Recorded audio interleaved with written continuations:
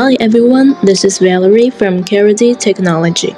Behind me is our 20 liter model supercritical carbon dioxide extraction system. Let me introduce to you one by one. From left to right, the first thing catches our eyes are the carbon dioxide cylinders. It provides constant CO2 supply for the system through these pipes. Next, the chiller. It turns the CO2 from gas to liquid. You can monitor the cooling effect by the high pressure gauge and the low pressure gauge. After that, the liquid CO2 is pumped into the system by this machine. We call it the main pump. Last but the most important part is the main operation machine. And up the stairs we'll see two extractors. Each capacity is 10 liter. This is where we put the raw material. It can work together or individually. To improve the extractor performance, we also equipped with multiple seal rings and filter plates.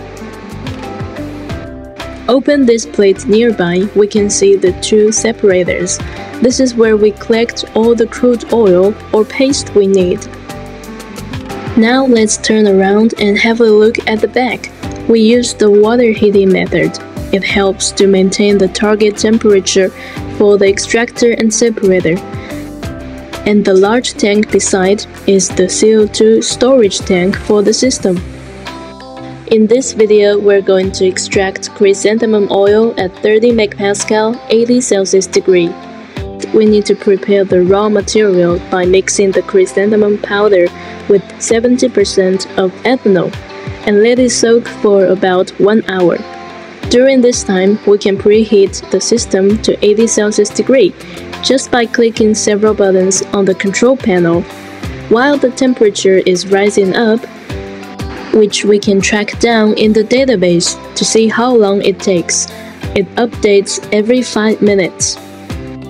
We can make some preparations like cutting the filter paper as the shape of the sintering plate. When the fermentation is complete, we can start loading the material into the extractor. It can be opened from both ends.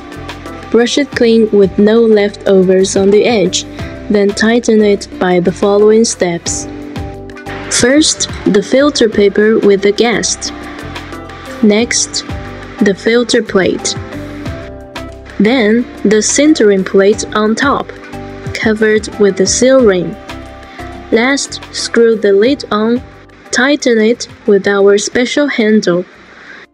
Now it's ready to lift into the extraction vessel. And there's more sealing steps awaiting us because the extraction is carried out under high pressure. We need to ensure the safety of the operation. Every step must be taken seriously. Now we can turn on the inlet valve of extraction 1 to let CO2 into the extractor. The pressure will slowly rise up. We can monitor the current parameters on the display. And when you notice the CO2 storage tank pressure is lower than 4.5 megapascal and the pressure won't go up higher, that means there's a shortage of the CO2. We need to change a new bottle. Or we could heat up the CO2 bottles like this. It's a temporary one.